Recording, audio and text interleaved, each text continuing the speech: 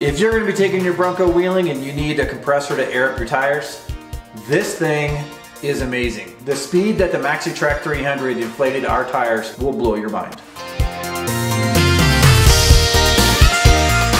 Welcome to another episode of Alpine Garage. We're putting out daily Ford Bronco content. We've got a 2021 first edition that we are currently modifying, and then we also have two classic Broncos that are in the middle of a restoration. So please subscribe and join us in our journey on our three Broncos. In the last two days, we did an air down video using the small brass adjustable deflators that you can buy for less than $20 on Amazon. Now we're gonna see what we can do to get them aired back up from 21 pounds back up to 40 pounds using the MaxiTrax 300 LPM portable compressor. Now I think the standard in off-roading right now, especially if you're serious about your off-roading, is the ARB twin piston compressor. Those run approximately $600. The CFM on those is actually less than this guy right here. And this is one sixth the cost of that ARB. We bought this in early December and at the time Napa, which is one of the few places that you can buy this, was completely sold out in Colorado Springs and they're online in stock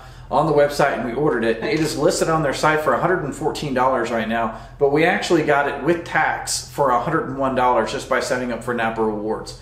So at $100, this thing is amazing compared to what we used to have. Now 300 liters per minute, that's what it's rated at. It's about 10 and a half CFM, which makes it theoretically one of the fastest twin cylinder compressors on the market right now. And it seems like it's manufactured pretty well. It's got twin 60 millimeter stainless steel pistons.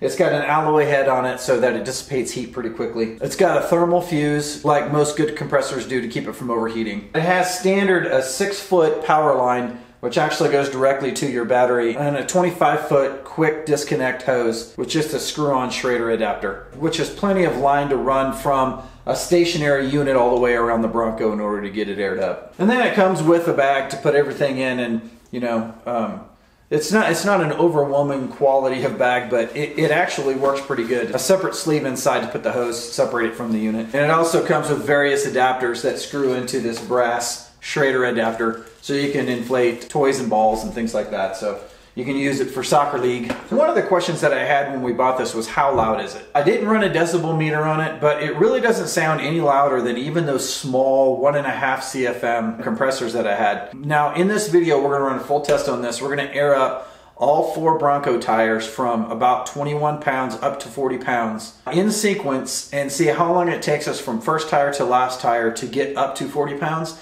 And actually, I think you'd be surprised on how quick it is. So the positives of this unit, 100 bucks, you can't beat it. Comes with a case, 25 foot hose, so you don't have to take it from tire to tire. It's over 10 CFM, and it comes with a one year warranty. The hose is a quick connect. It does have a gauge on it. The gauge will only tell you what the pressure is at when you shut the unit off. So it doesn't keep constant pressure. It'll actually tell you what pressure is in the hose until you shut the unit off and then it'll tell you what pressure is in the tire. So let's go to the Bronco. Let's take the MaxiTrax 300 LPM. And let's see how quickly we can inflate those tires. Mandy has the timer in the car. We're gonna get up to 40 pounds on the truck. So I'm gonna hook up the MaxiTrax to the battery. All right, Mandy, are you ready? All right, go. All right, go ahead and start the car.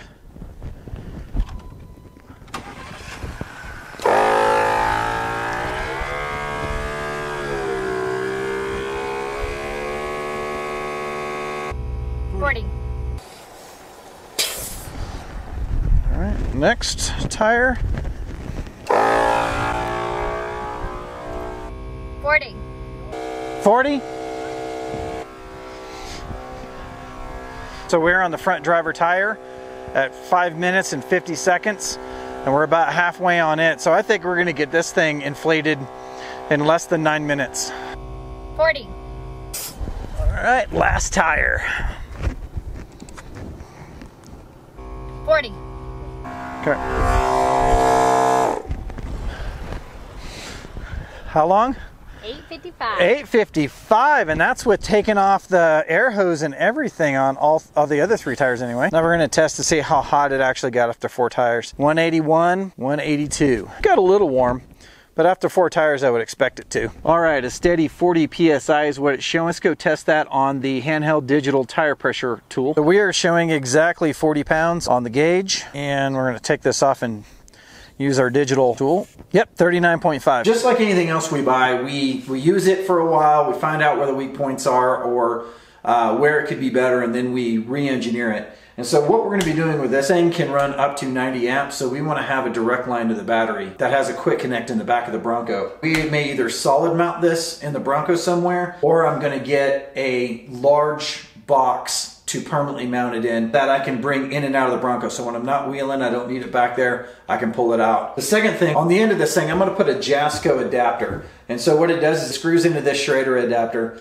It has a short hose and then it has a quick connect that just pops onto the tire and has a button to pull back off again to make it very quick on and off. And it's gonna make it much easier to use in cold weather. That's our review on the MaxiTrac 300. This thing is a dynamite little piece of compressor machinery. Over a minute per tire and sub nine minutes when you're running from tire to tire turning on and off the compressor. Most air compressors will do a tire in three to five minutes per tire. So you're talking 20 minutes plus, which is what we're used to with a smaller air compressor.